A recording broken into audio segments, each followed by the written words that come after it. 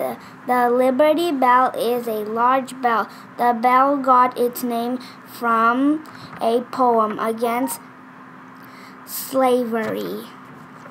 The first Liberty Bell was made in England in 1752. The Liberty Bell is a symbol of American freedom. The bell is gently tapped with a rubber hammer to honor America's freedom. The end.